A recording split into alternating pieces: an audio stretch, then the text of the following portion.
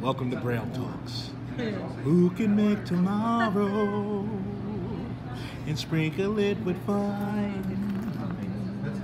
The Three Musketeers are gonna talk about a movie that we saw today.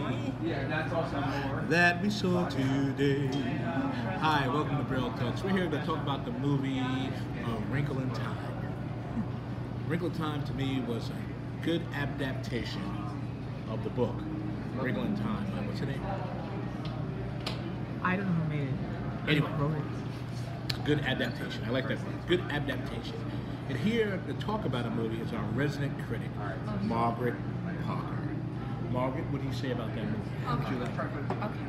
Um, I had no expectations. I had no idea what it was about. Um, and I thought it was um, pretty good. I thought it was good. Um, Oprah was beautiful, as always. It's a lot of makeup. And it, it was, it was, um,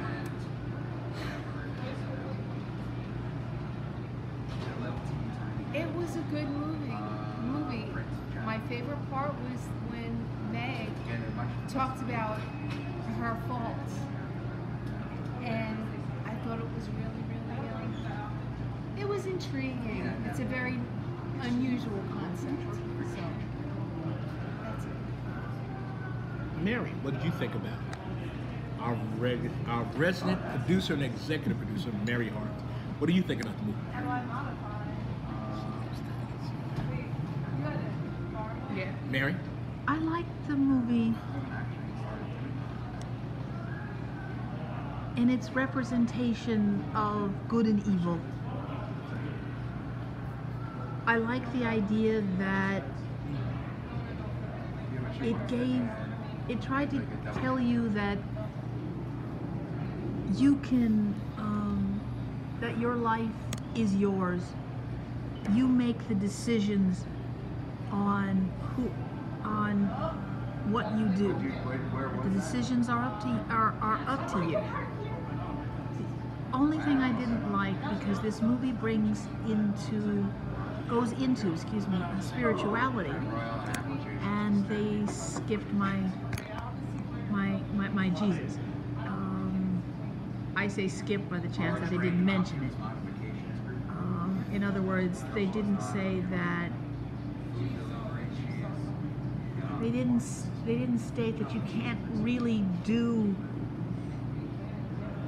that you need Jesus to get to um, God,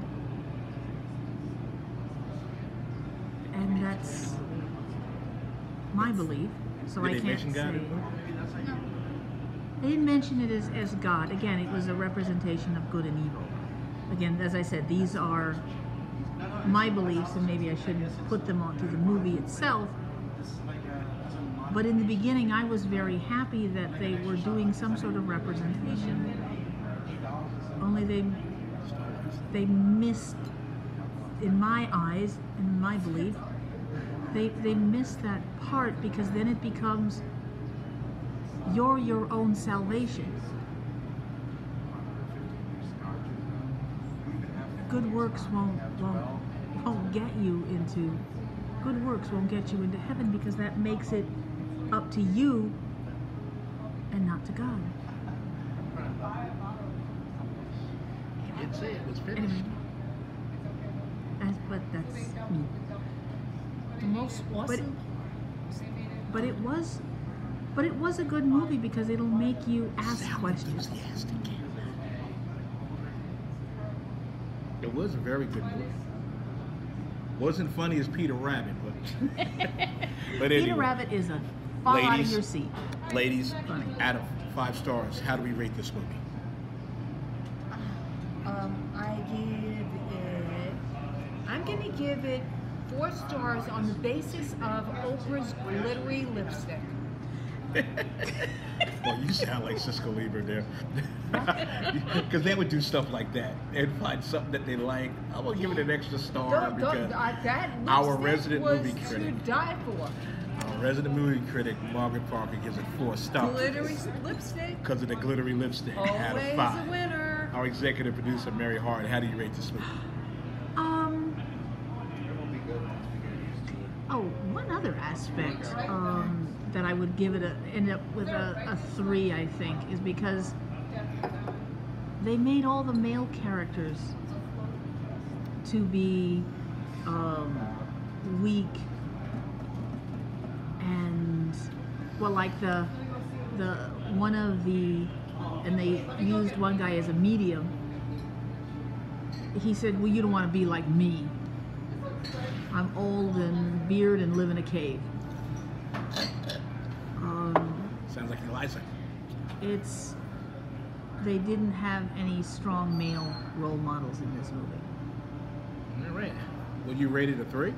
Yeah. Our executive producer would say, Hi, my name is Michael.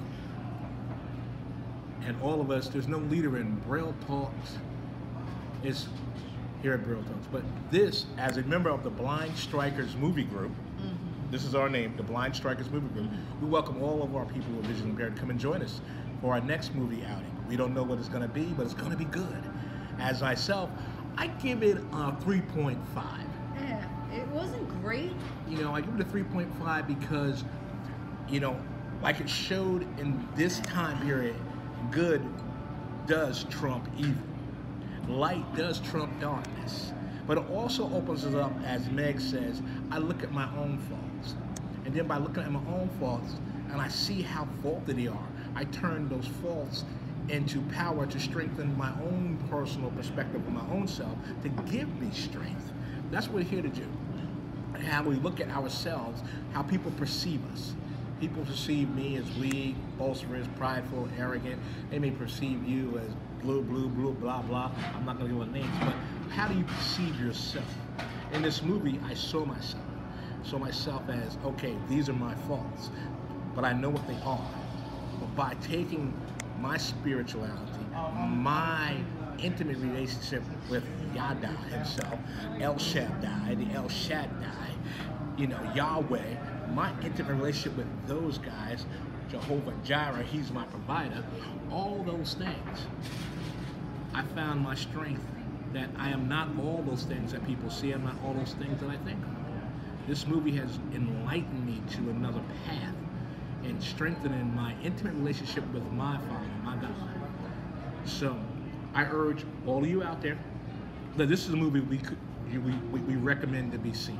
Absolutely. Because if you like Star Wars and all that stuff where good beats mm. evil, Star Trek where we take on the Klingons, when we look at those battle rages where the Cowboys come in at last moment and rain, this is a movie where good trumps evil.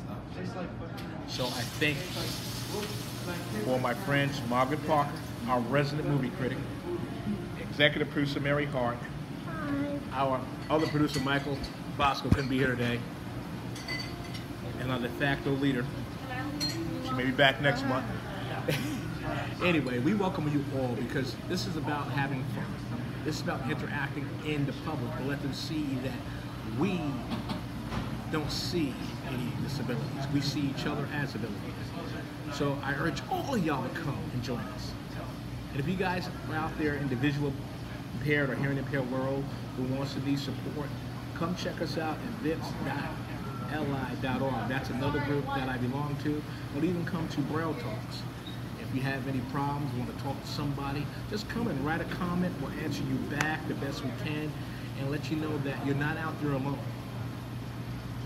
We're all in this together. So, as I say, who can make tomorrow? And sprinkle it with dew. Blind Strikers movie group is here for you. Margaret, Mary, Michael, Michael, and everybody else too. We want you to come and share a moment with us. The Blind Strikers movie group, we want to make it fun for you and you. Thank you. Good night.